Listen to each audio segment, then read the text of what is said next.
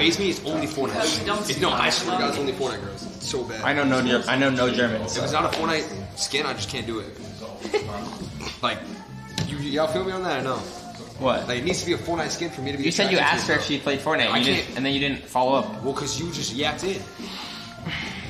But I'm, I'm not good at it. Yeah, I can only like all I care about is Fortnite. You can carry her though. I, no, I wouldn't even play with her. I can't lie. Cause I, I just carry the whole time. It just would be ass. Do you ever play video games?